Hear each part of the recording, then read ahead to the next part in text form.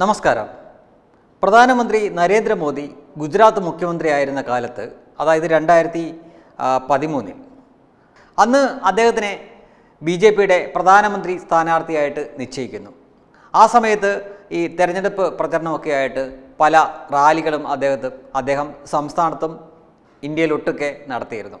അങ്ങനെ ഗുജറാത്തിലെ ഗാന്ധി മൈതാനിൽ അദ്ദേഹം പങ്കെടുക്കേണ്ട ഒരു റാലി ഉണ്ടായിരുന്നു. പക്ഷേ അവിടെ സ്ഫോടന പരമ്പരകൾ തന്നെ നടത്തിക്കളഞ്ഞു ഇവിടുത്തെ രാജ്യവിരുദ്ധരായിട്ടുള്ള രണ്ട് സംഘടനകൾ ചേർന്നു.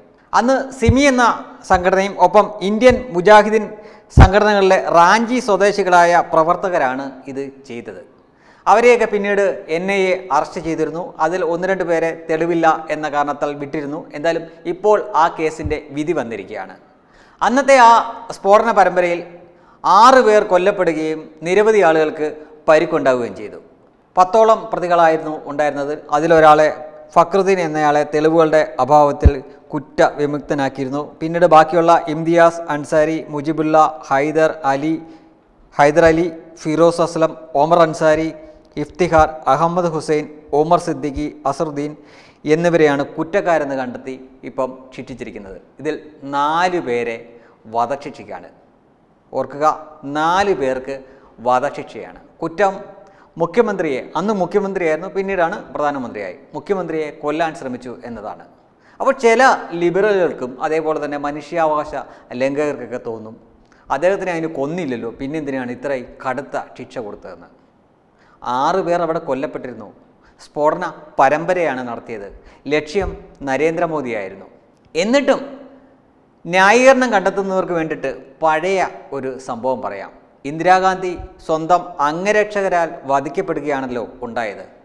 അന്ന് തൂക്കിലേറ്റപ്പെട്ടവരിൽ വധിക്കാൻ ശ്രമിച്ചവരെ അവിടെ വെച്ച് തന്നെ വധിച്ചിരുന്നു. അതിനുശേഷം ഗൂഢാലോചനയിൽ ഉൾപ്പെട്ടവരെയൊക്കെ തൂക്കിക്കൊണ്ടിരുന്നു നമ്മുടെ രാജ്യം. അന്ന് ബിയാൻ സിംഗ് എന്നൊരു പ്രതിയെ കൂടി തൂക്കിലേറ്റിയിരുന്നു. അദ്ദേഹം ചെയ്ത കുറ്റം എന്താണെന്നറിയണ്ടേ? അദ്ദേഹം ആ ഗൂഢാലോചനയിൽ പങ്കാളിയല്ല. ആയുധം ആയുധധാരിയായിട്ട് ഇന്ദിരാഗാന്ധിനെ വെടിവെച്ചിട്ടില്ല അല്ലെങ്കിൽ അവരുടെ കൂടെ പോയിട്ടില്ല അവരുടെ കൂടെ ചേർന്ന് പ്രവർത്തിച്ചിട്ടേയില്ല. അദ്ദേഹം ചെയ്ത ഏക കുറ്റം ഇന്ദിരാഗാന്ധി കൊല്ലപ്പെടുമെന്ന കാര്യം അദ്ദേഹത്തിന് അറിയാമായിരുന്നു. അത് വേണ്ടപ്പെട്ടവരെ അറിയിച്ചില്ല എന്നത് മാത്രമാണ്. ശ്രദ്ധിക്കുക ഇന്ദിരാഗാന്ധി കൊല്ലപ്പെടും എന്ന് അദ്ദേഹത്തിന് അറിയാമായിരുന്നു. അത് വേണ്ടപ്പെട്ടവരെ അറിയിച്ചില്ല എന്ന് മാത്രമായിരുന്നു. ആ കാരണം കൊണ്ട് തൂക്കിലേറ്റപ്പെട്ട വ്യക്തിയാണ് ബിയാൻ സിംഗ് എന്ന വ്യക്തി. അപ്പോൾ അന്ന് ബിയാൻ സിംഗ് എന്നൊരു വ്യക്തിക്ക് തൂക്കുകയർ കൊടുക്കാമെങ്കിൽ ഇന്ന് ആറ് പേരെ കൊന്ന സ്ഫോടന പരമ്പരയിൽ ആറ് സാധാരണ ജനങ്ങളെ കൊല്ലുകയും നിരവധി ആളുകൾക്ക് പരിക്ക് പറ്റുകയൊക്കെ ചെയ്ത ഈ നാല് പ്രതികളെ തൂക്കിക്കൊന്ന ഈ വധി വിധി വരുമ്പോൾ ഇതിനെതിരെ കടന്ന് മുറുമുറുക്കേണ്ട കാര്യമൊന്നുമില്ല. പിന്നെ കേരളം ഒഴിച്ച് ബാക്കി ഒട്ടുമിക്ക സ്ഥലങ്ങളിലും കുറ്റകൃത്യം ചെയ്യുന്നവർക്കെതിരെയുള്ള നടപടികൾ രാജ്യം തന്നെ കടുപ്പിച്ചുകൊണ്ടിരിക്കുകയാണ്. ഇവിടെയും അങ്ങനെയല്ലെന്നല്ല. ഇപ്പം നക്സൽ ബന്ധമുള്ളവരെ മാവോ ബന്ധമുള്ളവരെയൊക്കെ ഒരു വിചാരണയും കൂടെ കൂടാതെ തന്നെ ഇവിടെ കാട്ടിൽ വെച്ച് തന്നെ സ്പോട്ടിൽ തീർക്കുന്ന ചില പരിപാടികൾ പിണറായി വിജയൻ തന്നെ തുടങ്ങി വെച്ചിട്ടുണ്ട്. നമുക്കറിയാം ആറോ ഏഴോ പേരെ ഇപ്പോൾ തന്നെ കൊന്നു തള്ളിക്കളഞ്ഞു. അതേപോലെ തന്നെ ഇതേപോലെ രാജ്യവിരുദ്ധമായിട്ടുള്ള വിധ്വംസക പ്രവർത്തകരെയൊക്കെ നടത്തുന്നവരെ എൻ ഐ ആണ് അറസ്റ്റ് ചെയ്തുകൊണ്ട് പോകുന്നത്.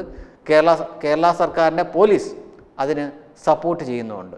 അപ്പോൾ ഇവിടുത്തെ കാര്യങ്ങളൊക്കെ മാറി മറിഞ്ഞുകൊണ്ടിരിക്കുകയാണ്. പഴയ പോലെ മനുഷ്യാവകാശം എന്നൊക്കെ പറഞ്ഞുകൊണ്ട് നിങ്ങൾക്ക് ഇവിടെ കിടന്നുകൊണ്ട് ബഹളം വെക്കാം എന്നല്ലാതെ ഇത്തരംക്കാരെ ഇത്തരം തീവ്രവാദികളെ കയ്യിൽ കിട്ടിയാൽ അത് വിചാരണ ചെയ്യും. വിചാരണയ്ക്ക് അവ ഒടുക്കം ഇതുപോലുള്ള ശിക്ഷയായിരിക്കും അവരെ കാത്തിരിക്കുക.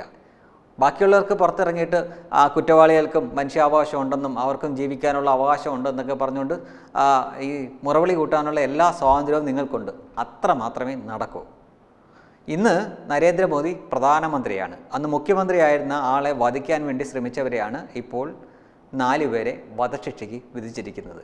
ഈ രാജ്യത്ത് ഇനി ഇങ്ങനെയൊക്കെ തന്നെയാണ്. രാജ്യത്തിനോ അല്ലെങ്കിൽ രാജ്യത്തെ രാജ്യത്തിന്റെ തലവനെതിരെയൊക്കെ ഇതേപോലെ വന്നാൽ അവനെ ഒന്നും ബിരിയാണിയും തീറ്റിച്ച് ഉള്ള കാലത്തോളം ജയിലിലിട്ട് പോ തീറ്റിപ്പോറ്റും എന്ന് ഒരുത്തനും വിചാരിക്കേണ്ട. അതൊക്കെ ഇവിടെ കേരളത്തിൽ ഈ ഗോവിന്ദജാമിയും അതുപോലെ കുറേ എണ്ണൊക്കെ കിടപ്പുണ്ടല്ലോ. നല്ല തിന്ന് മൊറ്റു കൊഴുത്ത് ജയിലുകളിൽ ഇപ്പോഴും കിടപ്പുണ്ടല്ലോ. അതൊക്കെ ഇവിടെ. ഇതിന് വെളിയിൽ വെച്ച് ഇവന്റെയൊക്കെ അവസ്ഥ ഇതൊക്കെ തന്നെയായിരിക്കും. വെബ് ഡെസ്ക് തത്തുമൈ ന്യൂസ്.